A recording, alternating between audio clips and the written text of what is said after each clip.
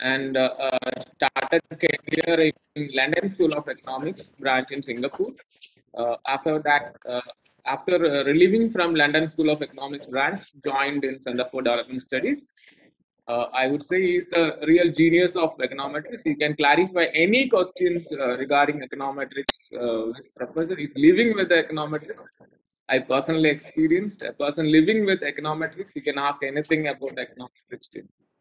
And so he specialized in energy economics, development economics, political economy, applied statistics, econometrics, uh, and these are the specialized areas. So over to you, sir. So we can start. Uh, Thank you.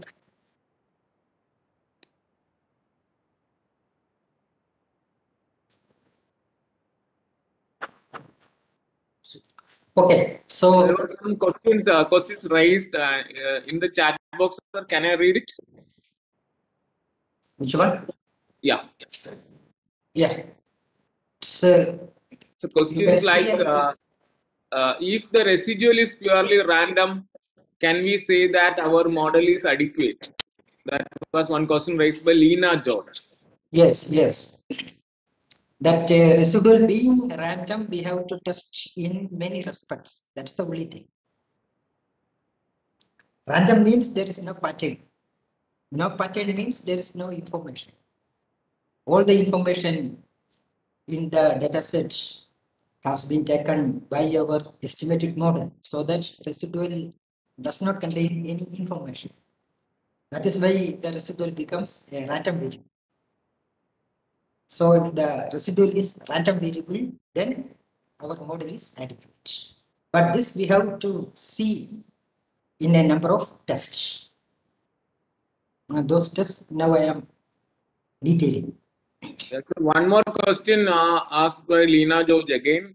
How do we know residual is purely random? Yeah, that is that is what we are doing now. Yeah, coming classes. Yeah, Then is it possible to solve non-linear parameters by OLS? If No, it is we not. transform the parameters See, into dot, will it remain unbiased? see actually in econometrics by linearity mean we mean the linearity in parameters, not the variables. If the variables are in squared or cubed terms, doesn't mean doesn't pose any problem for estimating it using OLS. So if the parameters are linear, then any equation we can estimate using OLS. If the parameters are non-linear, then we have to go for non-linear least squares method, not the OLS. Okay, sir. Clear, sir. Yeah. Sir, we can continue with the uh, Yeah. previous years. Yeah. So whether we have a normal residual or not, we can use a normal probability approach, PP, PP curve.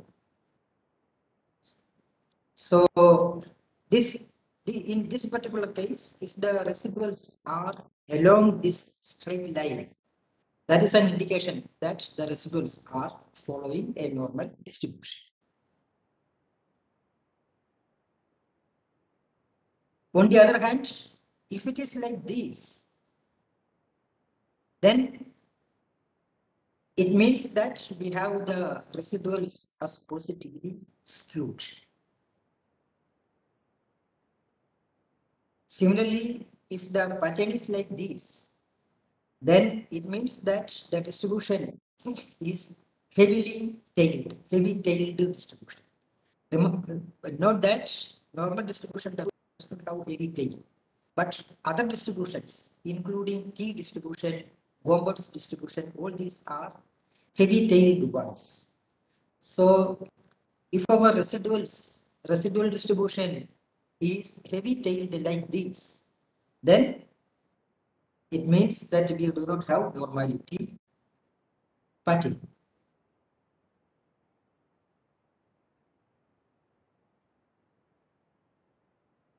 Now this, this uh, residual plots are not uh, enough in themselves. We need statistical tests. We have a statistical test. We have a large number of statistical tests for non-normality, but the most popular one is the Jarque-Bera test. Carlo Raki and Anil Bera. So in this test, both the skewness and kurtosis of a distribution are used together. So the formula is given here. S is the skewness and K is the kurtosis. If skewness is zero and K equals three for a normal distribution, then the JB statistic is zero. That means we have a normal distribution. If S equals zero and K equals three. Otherwise, if the p-value for this statistical test is greater than 5%, then we cannot reject the null hypothesis of non-normality. Okay, the hypothesis of non-normality. Sorry, the if the p-value is greater than 5%, then the null hypothesis, see the null hypothesis here is not non-normality but normality. That is the residuals are normally distributed. That we cannot reject. So once more I shall tell if the p-value is greater than 5%, then the residuals are normally distributed. There is no problem of non-normality. And for that matter, in advance, I shall give you one information for our for all, all the model adequacy tests, our p-value must be greater than 5%. If our p-value is greater than 5% for all the model adequacy tests, then it means our model is adequate. There is no problem at all. That model we can use for our hypothesis testing and the further we can go for forecasting. So the p-value must be greater than 5%. So here also it is like that. Now, what are the remedies if we have non-normally distributed arrays? So one thing we have to modify our theory and try that. Then see whether there are any omitted variable and whether there is any outlier. Also, we can modify our functional form by taking some variance transform steps such as getting square root, exponentiation, logs, etc. So we can try for taking logarithmic transformation or taking the square root of the data or getting a power of that particular data and so and try to go. So that way we can try, we can modify our, our data set. Now the next one is multicollinearity. As I have already told you, multicollinearity refers to the relationship among the independent variables. The most problematic multicollinearity is when the variables are perfectly correlated. In that particular case, the estimation will, will stop, cease, and the computer will tell that it cannot proceed further. And we have the condition where the estimation approaches singularity. Approaches singularity or this singularity means that we cannot estimate the particular model. So if we have perfect multicollinearity among the independent variables, then it is not possible to estimate the model. So remember the this is a sample problem and therefore we have to do some something with the sample to avoid this particular problem. We will come to the remedies later. Now, multicollinearity is always there among all the data sets. And uh, it is a problem of degree. not just the presence. So that means multicollinearity can appear in different degrees. We have the two extremes. At one, at one extreme, we have perfect multicollinearity. And the other extreme, we have no multicollinearity at all. Between these two limits, we have different degrees of multicollinearity. So I shall tell you about these, these three cases now. So let us now consider the case of no multicollinearity at all. That is, all the data sets are independent of each other. No correlation at all among the x variables. That means the x variables are orthogonal to each other. So in this case, even if we suppose we have two independent variables x1 and x2, we if we go for a multiple regression, then the regression coefficients will be equivalent to a simple regression, simple regression coefficients. That means if the explanatory variables are not multicollinear, then we can go for bivariate simple regression. Now remember, this is the only case we can go for bivariate simple regression. In all other cases where there is some multicollinearity among the independent variables, we must go for multiple regression. So if there is no multicollinearity, then only we can go for simple regression of bivariate one. I have seen many, many researchers doing, taking, considering several variables, but taking two variables at a time and, uh, and giving a large number of bivariate regressions. This practice is wrong. We have to go for multiple regression, not the bivariate one.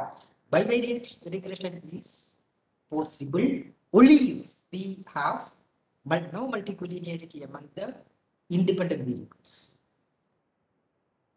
In, in that particular case, remember, if we go for a multiple regression, the multiple regression coefficients will be the same as the coefficients from a bivariate regression.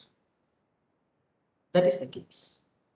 So the next case is the other extreme, that is the perfect multicollinearity case. So this is the singularity problem. In this case, take any two variables x1 and x2 and uh, perfect multicollinearity appears if x1 is equal to kx2 where k is not equal to 0. That is k can be any number, positive or negative. Maybe x1, if k is equal to 1, then x1 is x2. If k equals 2, then x1 is twice x2 and so on. In that case, we have perfect multicollinearity and we have the singularity problem. We are not able to estimate the parameters. The computer will crash. Between these two cases, we have imperfect multicollinearity. This is the more common problem among most of the independent variables. This is there, the imperfect multicollinearity is there, and that is why we have to go for the multiple regression. Here, we are able to estimate the parameters and they are unbiased. But the problem is with their standard errors, that is their variance. The variance is not the minimum. The variance is not the minimum. Now, if the variance is not the minimum, then that what, what are the implications?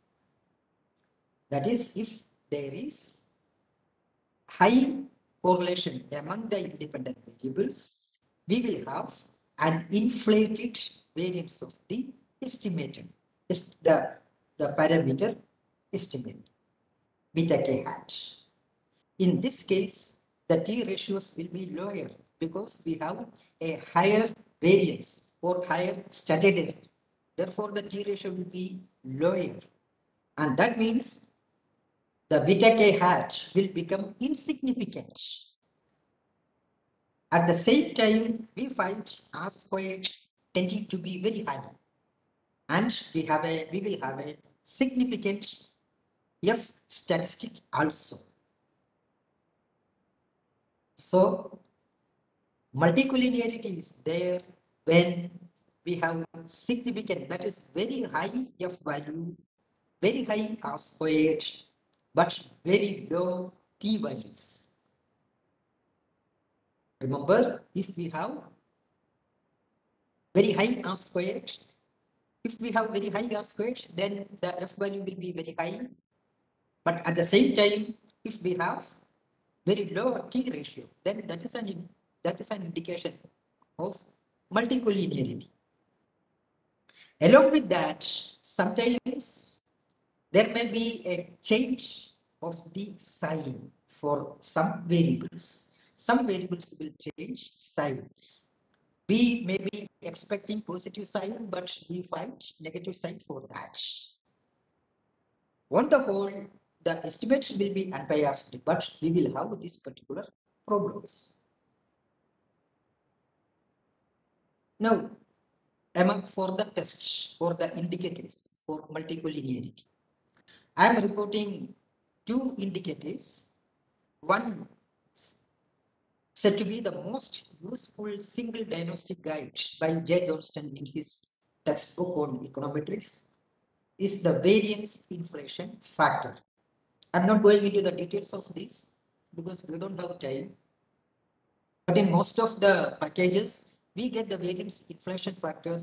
How do we interpret that variance inflation factor? If variance inflation factor is close to 1, that means there is no multicollinearity. But if it is greater than 10, then it is problematic. And usually we take this 10 as a, as a yardstick. Any VIF greater than 10 is said to be indicating a problematic multicollinearity. Otherwise, the multicollinearity is not a problem. This VIF of 10 indicates that the 90 the probability is severe. That is 90% of the variance of xj, a, a one variable is explained by other variables, other independent variables. Even though the usual criterion is a VIF greater than 10, in small samples, we have to consider a VIF of about 5. So these are the two values that we have to keep in mind. Then corresponding to the variance inflation factor, we have another measure called tolerance, which is the in the reciprocal of the variance inflation factor. If the tolerance equals 1, that means the variables are unrelated. If it is equal to 0, then that means the variables are, independent variables are perfectly correlated. Because the variance inflation factor will be, will be an infinite one. Now the second indicator is given by Belsley in 1991 in terms of what is called a condition index or condition number. Some of the textbooks uh, refer to these Belsley's indicators also. And this, both the index and the number, condition index and the condition number are taken from the eigenvalues of the matrix of x prime x, where x is the data matrix.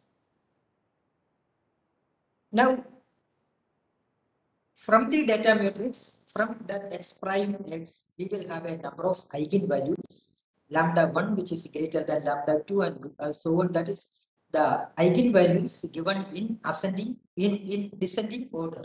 So that lambda 1 is the highest eigenvalue.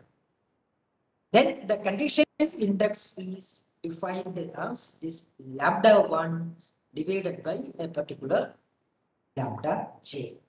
J can be 1, 2, 3 and so on.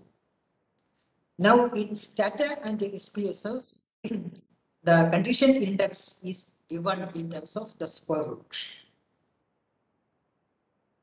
Now we have another measure called the condition number. This is the square root of the maximum eigenvalue that is lambda 1 and the minimum eigenvalue that is the last lambda 1. That is, it is the square root of maximum Cij. So these two indicators are used for multicollinearity measure. And they have given this criteria for multicollinearity test. That is the, if the largest condition index is 5 to 10, that means there is no problem. If it is between 30 to 100, then there is some problem of multicollinearity. If we have the largest condition index in terms of more than 1000, then the multicollinearity is a severe problem. Now, what are the causes of multicollinearity? The usual sampling mechanism can generate multicollinearity. That is purely constructed design and measurement scheme for the limited range of the sampling mechanism. Then statistical model specification also can generate multicollinearity. That is adding polynomial terms of the trend indicators. If we take, say, suppose we have one ind independent variable x1. If we take the square of that, x1 squared or cube of that, then there will be multicollinearity. Then if there are too many variables in the model, that is if the model is overdetermined, then that also can cause multicollinearity. Then our finally our theoretical specification can go wrong and cause multicollinearity. Now, what are the remedies for this? One remedy is to increase sample size and it can work sometimes, not always. Sorry. Then the other case is to omit the collinear variables. Now suppose we have three variables x1, x2, x3 as collinear, multicollinear. If they are highly collinear, then we can omit variables and go with the regression of having one variable only. But there is a problem with this. If we omit the variables, then there will be omitted variable bias and that will that will lead to specification bias, specification problem. And moreover, if we want to have differential impact size of different variables, then we cannot omit variables. Suppose we have the variables income and say wealth in a consumption function. Consumption as a function of income and wealth. Of course, there is multicollinearity between the two independent variables, income and wealth. But if we want to find the marginal effect of income and wealth separately, then we should have both the variables in the regression. That is the case. So we cannot go for omitting the variables. Then the another alternative is to go for constructing some scale. That is, we can we can find an average of the three variables x1, x2, x3, and get a representation of all the three variables. But the problem of differential marginal effect size remains there. So we, we it, it is it is not advisable to go for a scaling technique Similarly, we can go for a scale in terms of factor analysis. We have a if we have a large number of variables, large number of independent variables, multicollinear, then we can go for a factor analysis that is we can go for what is called a data reduction that is variable number of variable reduction. We, we can go for a factor analysis in specifying a few factors to represent all other variables, all the variables. But here also we have the problem of getting the getting the differential marginal effect size of each variable. So that also is not advisable. Then what we can do is to constrain the estimation, but that is setting the value of one coefficient relative to another. That is get some relative measure. If we have two variables x1 and x2, which are collinear, then we can take a ratio of these two. But there, in there also we have the problem of not getting the differential impact. So most of these remedies are not, not, are not advisable. So we go for the last one, that is just cross our eye towards multicollinearity problem. That is just ignore it and report the adjusted for it and say that we have to retain these variables in the model. Otherwise, there will be omitted variable bias and we will not be able to get the differential impacts. So, in general, the advice is to ignore multicollinearity. Now we come to the model specification problem, that is the specification error.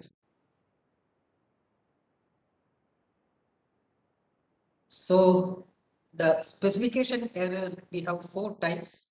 This I have already told you earlier.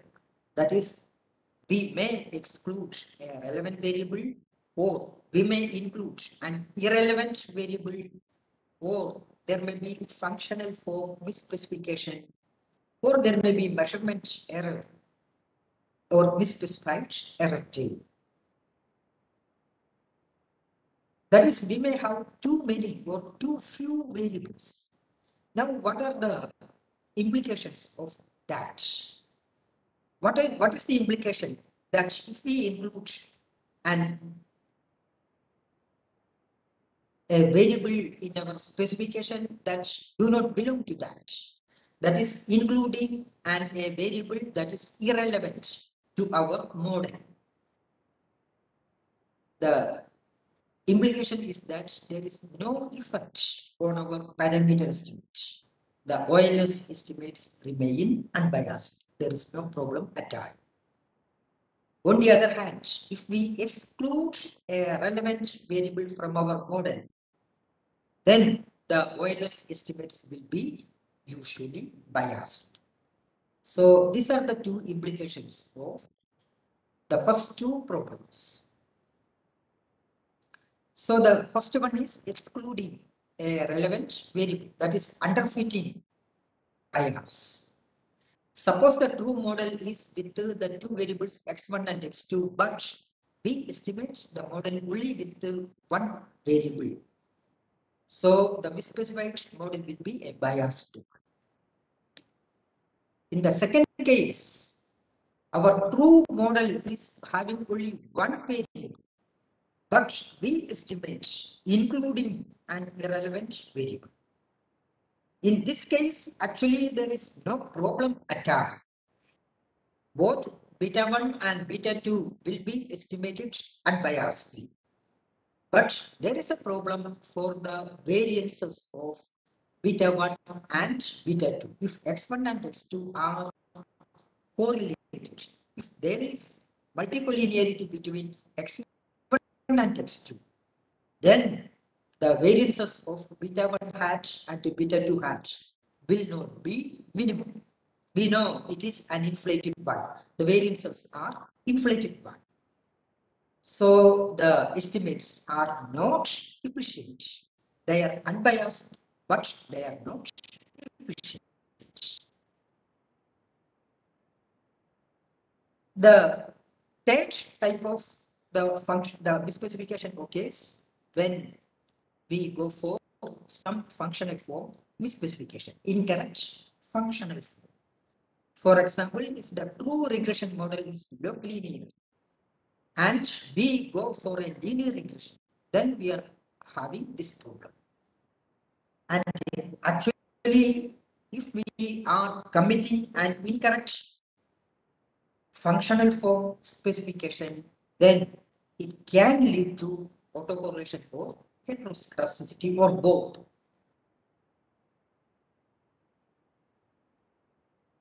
Now, what about the testing for the specification error? We have a RESET. RESET is given by Ramsey, and this is said to be Ramsey's regression specification error test. RE regression specification error test. So the null hypothesis is no specification error. And if the p-value is greater than 5%, that means our model does not have any specification problem. Remember I told you earlier, all the model adequacy tests should have a 5% should have a greater than 5% p-value. In that case, our model will be adequate.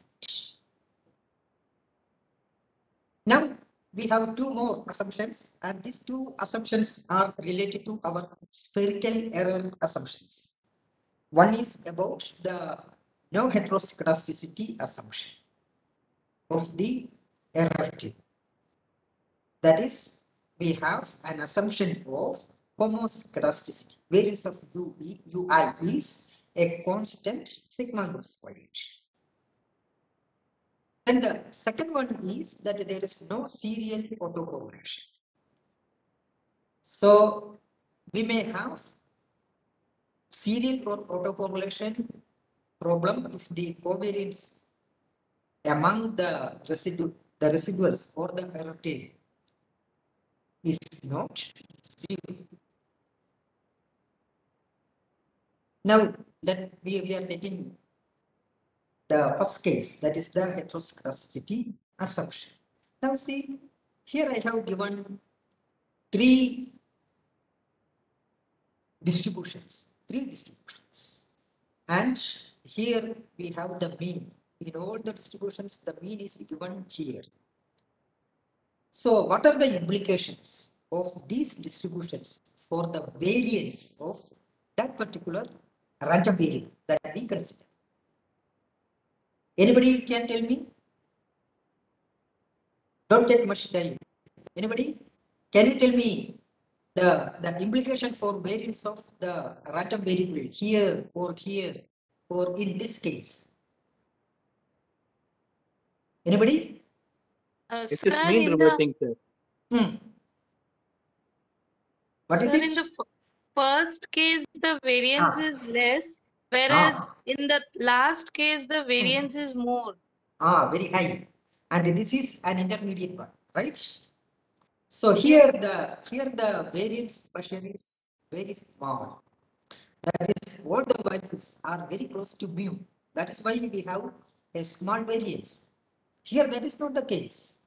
The values are distributed away from mu considerably, substantially. So the variance will be very high. Now, if we have the explanatory variables like these, x1, x2, and so on, and the error variance is given like this, then this is a homoscedasticity case. That is, the error variance is the same with respect to both the independent variables. So we have the case of homoscedasticity. On the other hand, if we have a case like this for the three independent variables, x1, x2, x3, the variances are different. The error variances are different. So we have the problem of heteroscedasticity. Now, if we have the problem of heteroscedasticity, then the residuals will have a fan or a funnel shape like this. This is a fan or funnel shape, or more clearly like this. So here we have a funnel shape or a fan shape. Here also we have a funnel or fan shape. That is not the case here. Here the variance is constant. So we can have a diagrammatic representation of heteroscedasticity if we plot residuals against the independent variable and the residuals are like this, like a fan or funnel. Now the implications of heteroscedasticity are like are this. Now here also, just like our multicollinearity problem, the parameter estimates are unbiased and they are consistent also. That is the asymptotic property also is available. But the problem is they are no longer the best estimator. Their variances will be very high. That is the problem. So in general, they are not blue. That is, they are not, we do not have the minimum variance property. They are not efficient estimators. So if they do not have minimum variance, then we will not have minimum standard error, then that will lead us to wrong inference. And we will have invalid confidence intervals also. And there are different types of heteroscedasticity. We may have heteros additive heteroscedasticity or multiplicative one or an arch one, which is a time series problem. That is autoregressive conditional heteroscedasticity. That is the arch problem. So such type, such such a type of heteroscedasticity also we have to see as a for the model adequacy among the model adequacy tests. So we will come to this later. So when we take up the time series analysis, we will be seeing this arch case. Now, what are the causes for heteroscedasticity? Earlier, we have already told if there is any omitted variable case or improper functional form that can lead to heteroscedasticity or autocorrelation. Then there may be some learning behaviors across time among the economic agents that can also lead to heteroscedasticity. Then changes in data collection or definitions. Then outliers or some breakdown in the model. So these are the causes of heteroscedasticity. Then for testing, we have a large number of tests for heteroscedasticity. We can we can use the Ramsey RESET test itself, or we can go for some other tests. Among all these, most popular are the Breusch-Pagan test and the White test. Now, I shall give a comparison between the Breusch-Pagan and the White test. The Breusch-Pagan test will detect the linear forms of heteroscedasticity, whereas the White test allows for non-linearities also. So it is better that we go for the White test. Now, what are the remedies for heteroscedasticity? We have two remedies. They are the indirect and direct remedies. The indirect remedies come in two forms. That is either we can re-specify the model and then re-estimate it. Or within the same model, we can use what is called White's robust error, which is a heteroscedastic consistent standard error. A standard error that is consistent with heteroscedasticity. So the first such standard error was given by White in 1980. And that is why it is called White's robust standard error. So we can use the robust standard error if there is any heteroscedasticity problem. The second remedy is a direct one that is we go for another least squares method which is called generalized least squares method or weighted least squares method. In this particular case, what we do is we adjust the data set completely so that we will get a homoscedastic, a homoscedastic error tail for the given data set. With that homoscedastic data set, we go for our estimation as usual in the OLS. So that is the generalized least squares or GLS method. Now about the robust standard errors, remember the robust standard errors have only asymptotic distribution. So they have only asymptotic justification. So if we have a small sum, then it is better that we, we do not go for the robust statutory. The inference will not be correct. Then coming to the GLS, generalized least squares method, as I have already told you, what we do is, what we do here is, we go to transform the model into, into a, into another one with a homoscedastic error tail. So that is, we go, we weight, we give some weight to the data sets. That is why it is called weighted least squares and transform the entire data set so that the error will become homoscedastic. I'm not going into the details of this one because it will, it will take a lot of time. So just remember, we have the direct measure, we have the direct estimation method in terms of GLS or weighted least squares method. Now coming to the autocorrelation problem, we know this is the, this shows that the arrays are not correlated over time. That is the our assumption shows that the correlation the there is no autocorrelation among the error types. Now if we go for a residual plot, a diagrammatic representation of our residuals, residuals plotted against time, then if we find a cyclical pattern, then that is an indication of positive autocorrelation. Positive autocorrelation.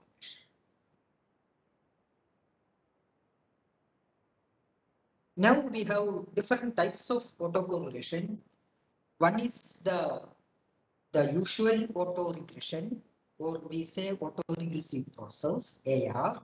And then we have another one moving average process. I shall give a small introduction to these cases because again remember in the time series analysis we will be discussing these autoregressive and moving average processes.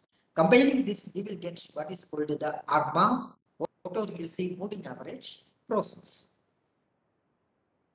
So an autoregressive process says that the error term or the residuals are related to their previous values. Here ut, the error term is error term at time t is related to its own previous value.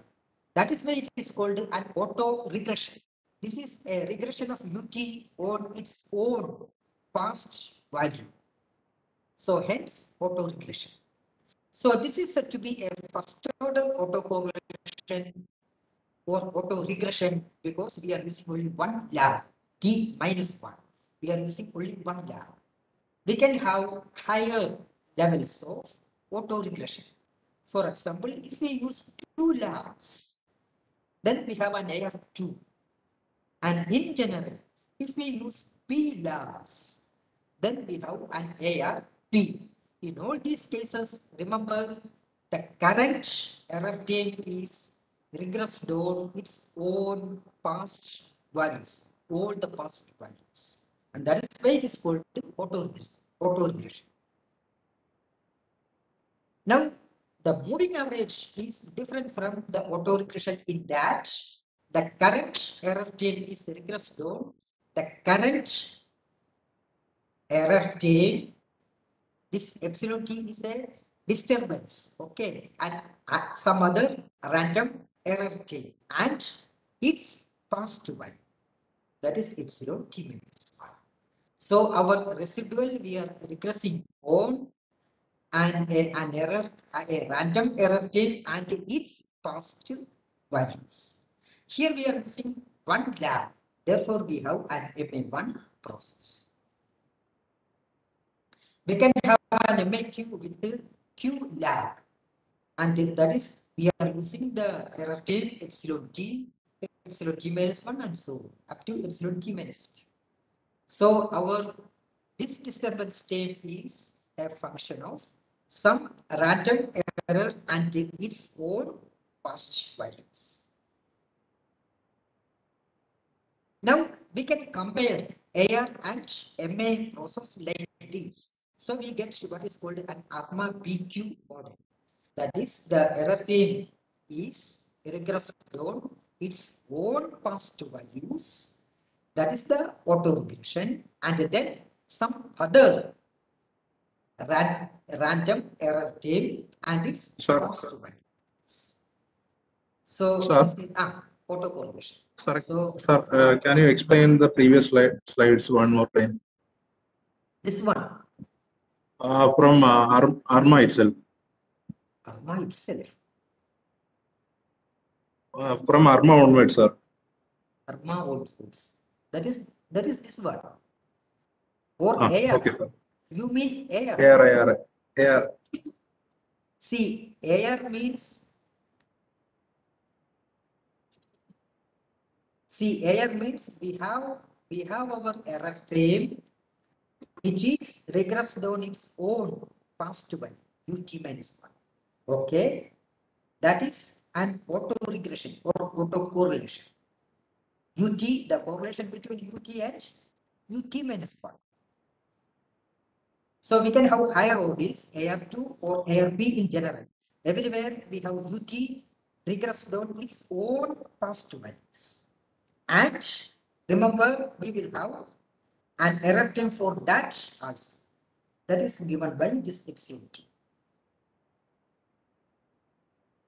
Now, the moving average process is gi- given is given by specifying the this ut in terms of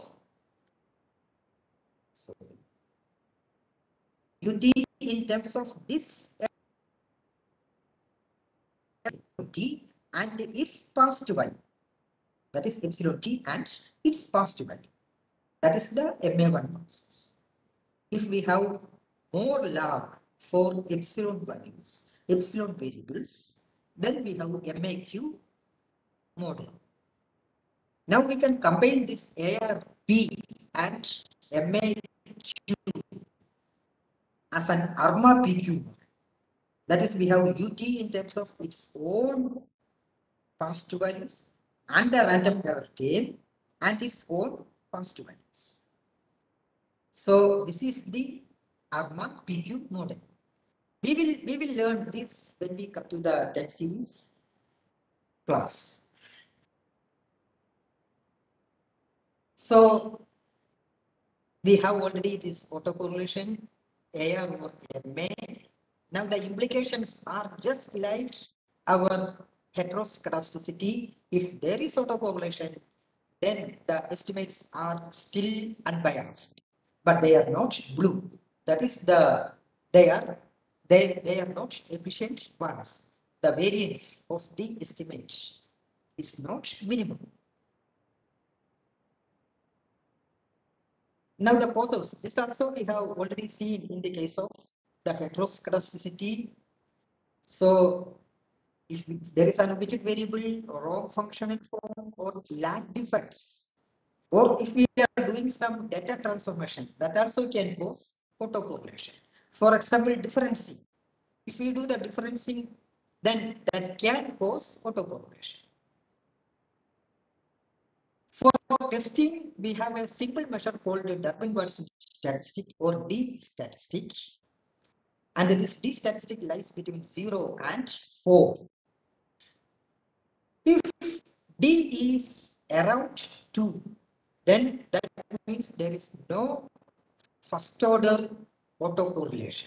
See the Durbin-Watson statistic will test only the first order autocorrelation.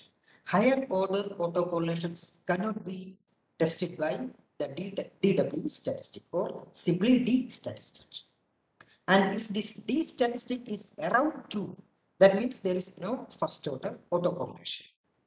If D is less than 2 or close to 0, then that means there is positive autocorrelation. And if D is greater than 2 or close to 4, that means there is negative autocorrelation. This I am giving. In this case, we have 0, DL, DU, then this, oh, okay, I shall give the next one. Here we are, we are including all the, the, the entire limit that is between 0 and 4 for the D statistic. And we know that this estimated D statistic we have to compare with the table value for the D statistic. In the table value, there is a lower limit and an upper limit where the test is inconclusive. So we cannot get to a conclusive conclusive result in if the if our estimated uh, D statistic lies here. Similarly, there is an inconclusive range between 4 minus du and 4 minus dl. Otherwise, if our D statistic is around 2, then there is no autocorrelation. So what is our null hypothesis? Null hypothesis is there is no autocorrelation. No autocorrelation. So if it is close to zero, then that means there is positive autocorrelation. And if it is close to four, then that means there is negative autocorrelation. So these are the cases. Here we have all the four cases. In general, the remember if the D statistic is around 2, that means there is no first order autocorrelation. Now, this is only for the first order autocorrelation. For the higher order autocorrelations, we have some other testing procedures. And uh, mainly we have one testing procedure in terms of what is called a Breusch-Pagan autocorrelation test. So those autocorrelation tests we have to do. We can do in Gretl and uh, similar similar statistical software. So we will do that in our afternoon session. Now here, this doesn't matter. Okay. Now suppose in this particular case, the D statistic is estimated as one and the one is much less than two. And uh, therefore we can conclude that there is positive autocorrelation.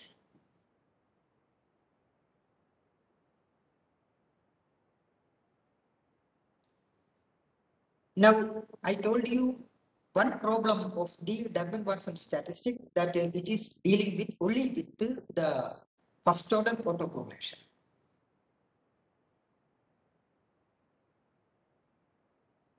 Now, the Durbin-Watson statistic is, is inapplicable or it fails in interpretation of autocorrelation if there is a lagged endogenous variable in our model.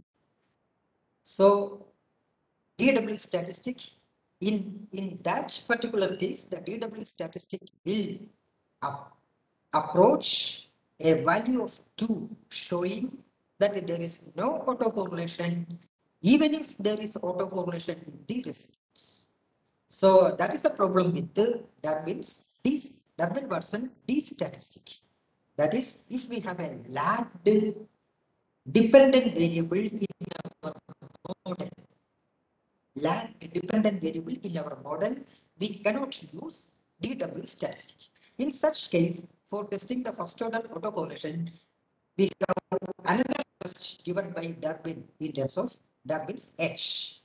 Durbin's H has a, norm, a standard normal distribution. Therefore, we can compare the Durbin's H with our usual 1.96 value. At 5% significance level, we know 1.96 is the critical value. If the that means h is greater than 1.96, then we will reject the null hypothesis of no autocorrelation. Otherwise, if means h is less than 1.96, that means there is no autocorrelation. That is, we are not rejecting the null hypothesis. Now the remedy, as I told you, as in the case of the heteroscedasticity, we have the same generalized least squares method, but in a different format. The GLS we apply here in terms of either a first difference method, that is, we take the first difference of our x variables and the dependent variable, and then regress delta y, the first difference of y on the first difference of our independent variables. And here we are assuming that the autocorrelation coefficient, is equal to 1. There is another method which is called generalized difference. In this particular case, we should know the value of the autocorrelation measure, that is rho. This is the Cochrane Orcutt method. I'm not going into the details of this. What we have to do is, first we estimate our OLS and get the residuals. Then using the, that particular residual, we regress the current value of the residual on one. Okay, we are we are regressing on one previous value of the residue. And uh, regressing like this, we will get an estimate of the autocorrelation coefficient. That is the rho hat. Then we use this rho hat in a generalized difference formula like this. We multiply by t minus 1 with this rho hat. Also multiply x t minus 1 with this rho hat and then take the generalized difference like this by t minus rho hat by t minus 1 and then regress this on the on a new constant and a new independent variable obtained by this difference. And then what we have to do is substitute the values of B1 and B2 into the original regression. That is this one here. And then we get a new measure of rho hat. And then again do this particular generalized difference regression. And go on like this until the rho hat no longer changes. Then we we get we in in that particular we have we have arrived at what is called the convergence in the result. So that particular result we can obtain. So I'm stopping here. You can ask me questions now. Yeah, participants can please unmute your mic and ask.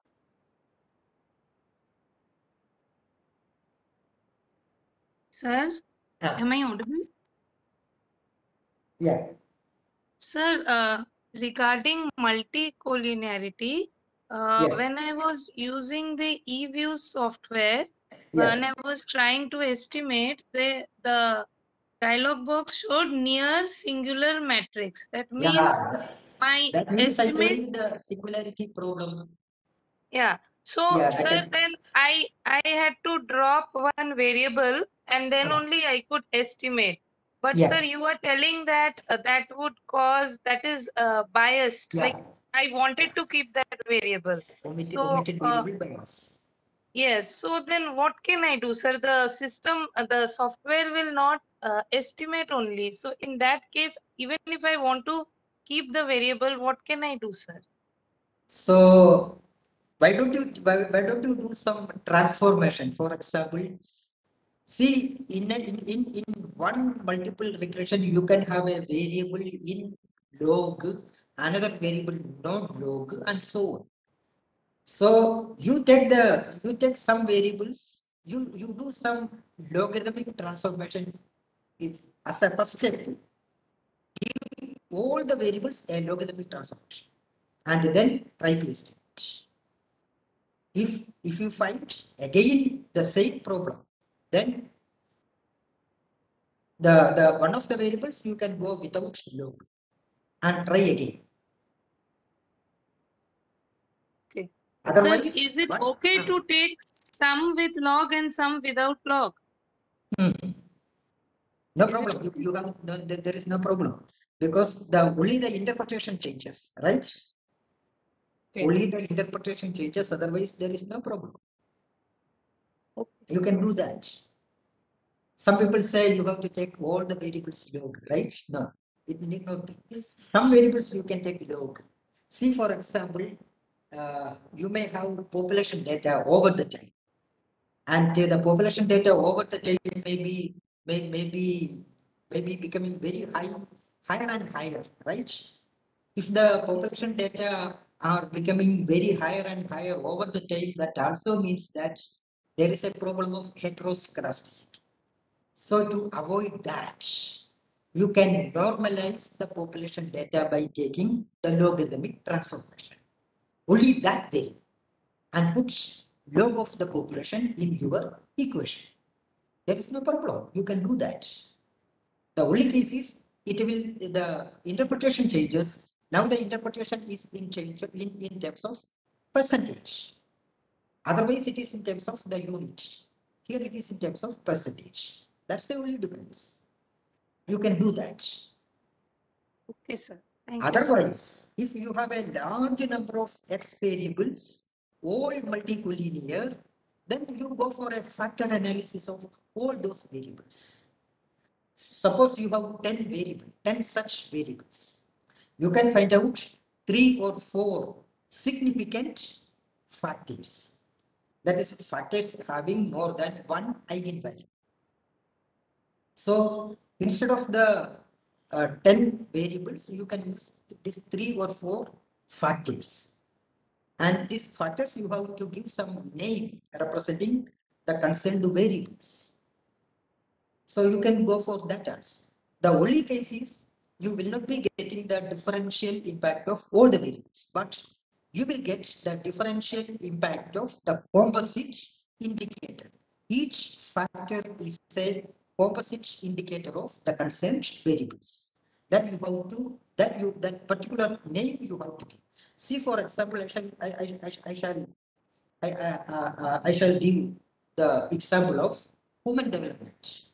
The human development indicator index is, is a scale of three variables. Income, that is a standard of living, education and health, right? Combining these two into one, one variable, we are getting a new variable, human development index. Similarly, combining variables, you have to give, depending upon the prominent variables in that factor, you have to give a name to the new composite index. Then you will be getting the marginal effect of that index, representing other, the, the main variables. So you can try that. Yes, sir. Thank you, Yeah. sir. So. Sir, Ah, sir. Sir, uh, if we omit one variable due to multicollinearity, hmm. how will it, it affect on autocorrelation and heteroscedasticity? Yeah, it, it will because, because that will, by, by omitting a particular variable, we are, we are, we are committing a specification bias or omitted variable bias. And that omitted variable bias will lead to, will, will, will lead to a, a biased estimator. And at the same time, See, we are omitting a particular variable and uh, omitting that particular variable will affect our error term. What idea? Why we are including an error term in a regression specification? Why we are including an error term in a, in a, in, a, in our model specification? See, for example, we are, we are including an error term to account for the omitted variable effect to account for the omitted variable effect. That is the effect of the omitted variable. So the u the, the error term, if you are omitting a particular variable, then the error term will have its own change according to the omitted variable. It now includes the effect of the omitted variable bias. So naturally that can lead to autocorrelation or heteroscedasticity or both. That's the case. I hope you got the idea, right? Okay, okay, sir. Okay, sir. I go.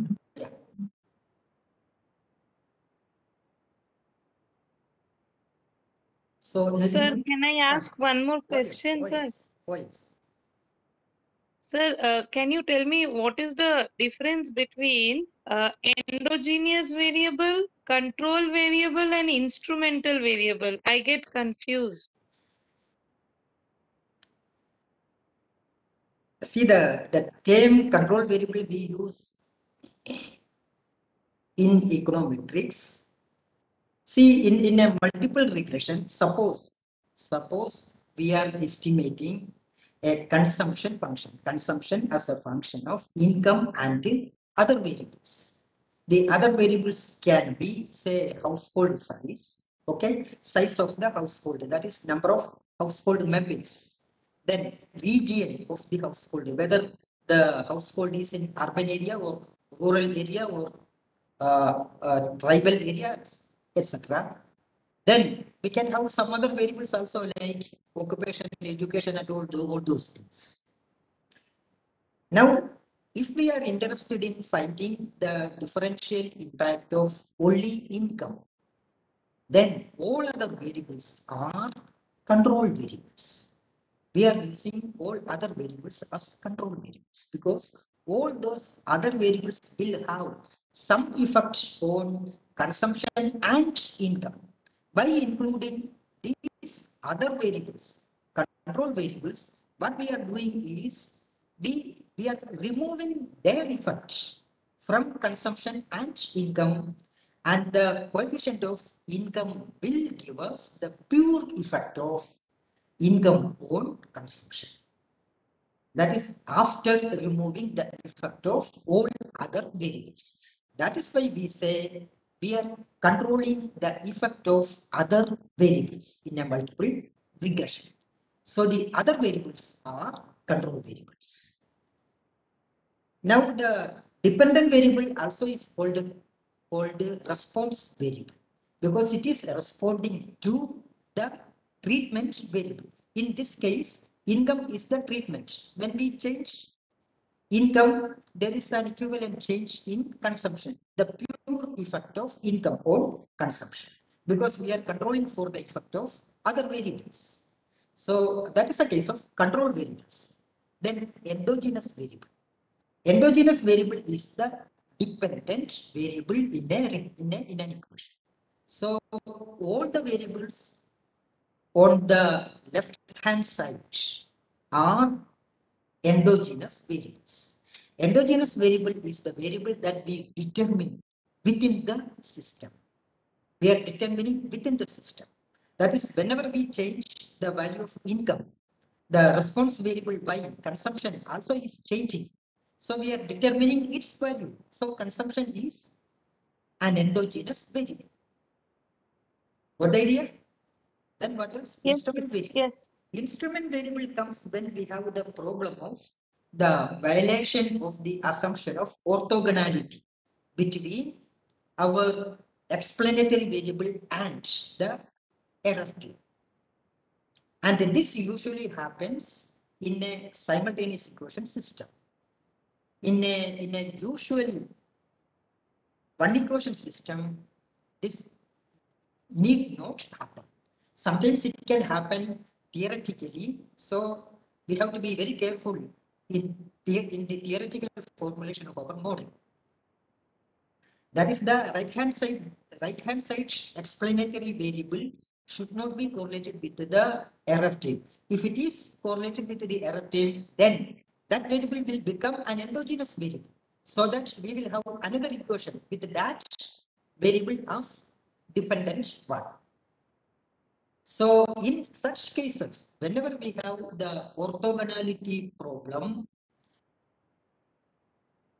problem or orthogonality assumption violated, then we have to go for some instrument variable instead of using, for example, household size. Household size and uh, say region. Suppose how okay this is okay. Household size is correlated with the uh, uh, the error term. Suppose then we cannot use the household size as such because there is the problem of violation of the orthogonality assumption. So we have to find some other variable, some other variable which is highly correlated with the household size, but uncorrelated with the error term. That is an instrument variable. Got the idea? So an Yes, instrument variable is uncorrelated with the error term, but highly correlated with the variable under consideration. So that is the uh, instrument variable. Sometimes this instrument variable we estimate. For example, we can estimate the a through a regression the household size depending upon all other variables and get the estimated value. That estimated value is assumed to be independent of the error term. So that estimated value we can use, estimated value of the household size, we can use as an instrument in this equation. But remember, this is in the framework of a simultaneous equation system. Yes, sir. Thank you, sir. Now, anything else? Sir, if uh, no questions, we can wind up and we Yeah, can yeah, uh, right, right, right. And yeah. we will start by two thirty, So- right? 30. Ah, yeah, we will start by 2:30. Yeah, two thirty. Okay. Thank you all. Okay. sir.